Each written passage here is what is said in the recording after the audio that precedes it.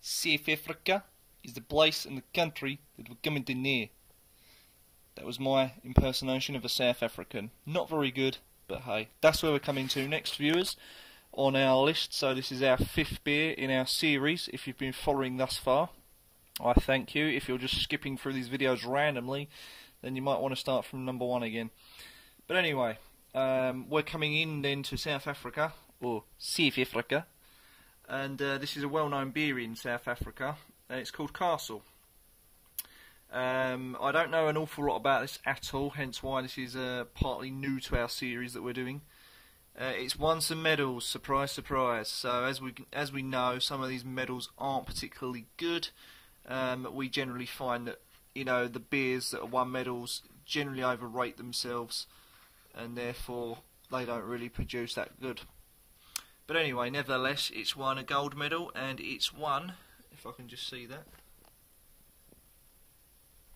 the Brewing Industry International Award 2000, along with some others there. But you can just see them there. The middle one there being the Brewers Award. So this comes in at 5% and is from South Africa. Or should I say South Africa? Whatever you want. I kind of like the South African accent. But there we go. Um, the castle cap there, just very basic, nice and gold. Woo, shivers in the light. Lovely stuff. Right then, um, the pour, very good, I must say, very good. You can see there, slow carbonation. Uh, not a great deal of carbonation, but uh, yeah, it's quite slow. The head is kind of okay. I'd say it's like a, a thin.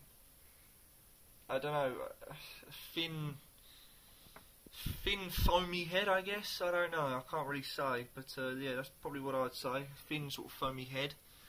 So if we zoom out a little bit, you can probably see what I'm getting at. If I do that, then you can probably see a bit better. So that's the head there for you. As you can see, I'm only putting my hand behind it so you can see the head, by the way, because it's on a white background, so you can't see it. But there we go. Quite a good head then. Right, this comes in at 5%, I must add. I, I don't think I mentioned that, but I'm going to mention it again. It comes in at 5%. What I want to smell.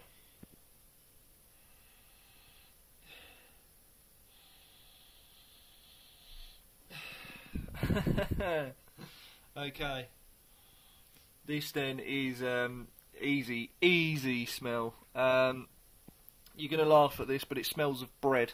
Freshly made bread. I absolutely adore that smell. Um, yeah, it smells of freshly freshly made bread with a light citrus, maybe a honey essence of honey, sort of uh, in the in the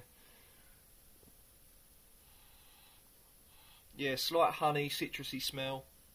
Smells of fresh bread, and I'd say quite a bit of yeast as well going in there. Uh, there you go. There's the carbonations again for you, just to show you. But yeah, so yeah, it smells of bread and honey, light citrus, and lots of yeast. So, without further ado, I'm now going to venture out and try this. I'm looking forward to it. I've never had South African beer before, so first time for everything, as we do in this series. So, cheers.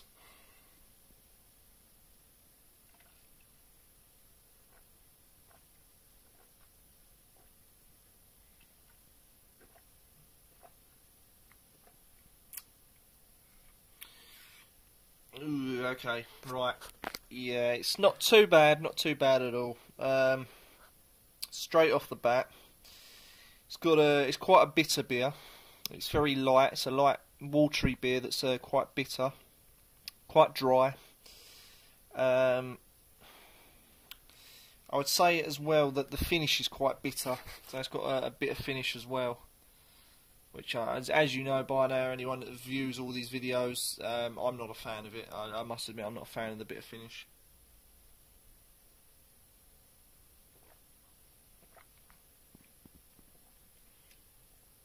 It's got a nice sort of mellow, sweet taste as well. Um, the bitterness powers it first, first and foremost.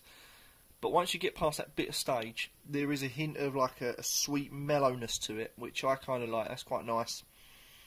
Um, it's light, refreshing, quite malty, and again, sort of a bit similar to San Miguel, where you get that corn taste that sort of essence of corn. Uh, reminds me of like a, a cereal kind of thing, you know what I mean? Like cereal taste. Not too bad, but um, I wouldn't say it's nothing special.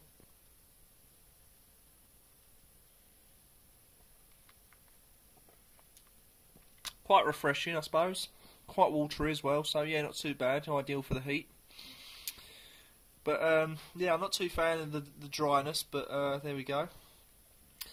That's really all I can tell you about this. I know it's only been short and brief, but uh, do check out our other videos and scroll down, obviously, and go through them um, to find out, obviously, better videos that I've done for these. But uh, yeah, come to the scoring, I'd give it a six and a half because, again, it's not nothing really special.